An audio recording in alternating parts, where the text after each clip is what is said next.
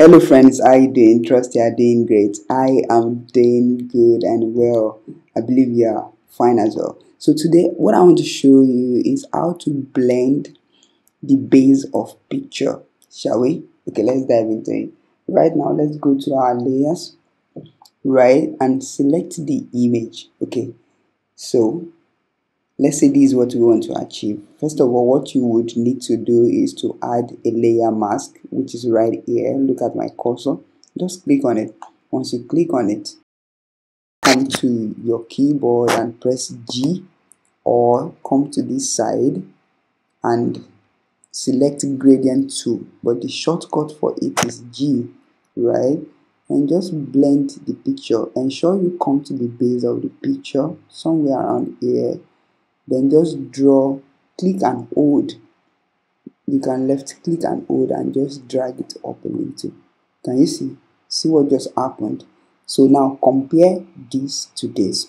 So probably you have a design you are working on a project you are working on and you don't know how to do this. I just showed you how to do it. Don't forget to subscribe to this channel if you haven't. Please go ahead and do that right now right? So that is how to do it. And there's another way at which you can do it as well that i would like to show you which is um let me close this. Let me disable this. Then come here. You can just come here and select your rectangle tool then draw it on your on your layer right? I would like to put the two of them under that layer. Okay this is cool. So let's change the color of the layer then we need to mask that rectangle layer. We are masking this one right? So just click on this then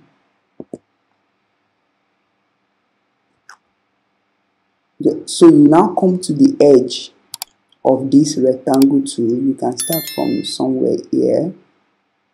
You need to start from somewhere below the edge and just drag it a little you know can you see?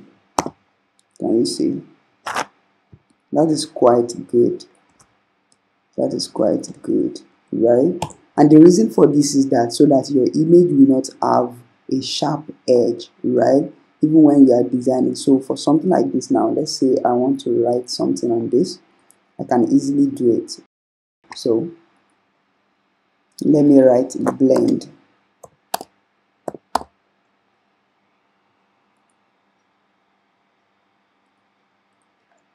blend your pictures or blend your images. Okay?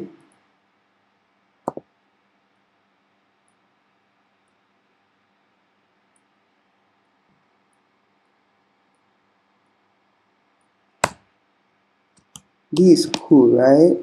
Isn't it? So now let's remove the let's remove this um what's it called? This rectangle and see how it's going to appear. Can you see what just happened this would help your design as a creative director, as a designer, even as you do your work.